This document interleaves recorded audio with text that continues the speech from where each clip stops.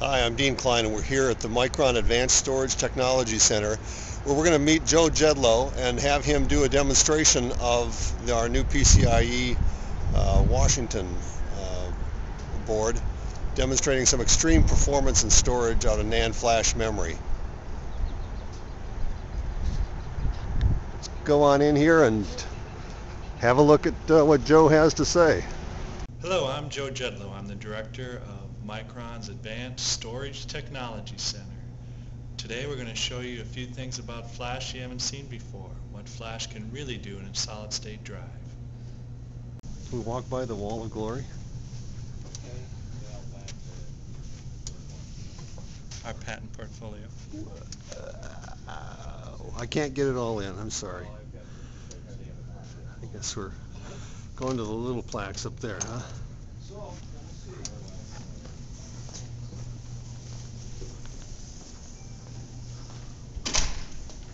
Here we are,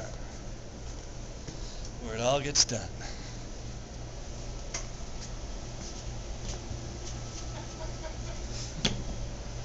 All right, Joe, what do we got? We have an Intel server, dual Xeons, 2 gigahertz, 8 cores, two SSD drives plugged into the PCIe slots. So these are not your typical vanilla SSDs. They are not. This is flash running at its optimal performance. What it can do, it's a little ONFI 2 speed. Would you call it the rocky road of uh, SSDs or mint chip or? Okay. Yeah.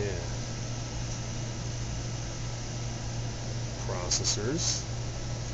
Memory with a fan on it too. That's intense. All right. Alright, so we have iometer running on this platform.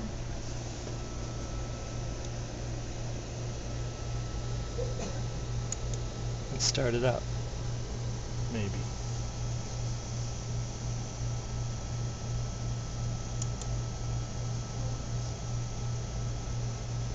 So we have a series of tests, different size transfers, 2K to 2 meg. We'll hit that green arrow. Show some results. There we are. 200,000 IOs per second. 2K byte random reads. Did you say 200,000? 200,000. 2K? Yeah. That's what Flash can do when it's managed correctly. That's an incredible number. So let's take a look, see where else we're going to head to.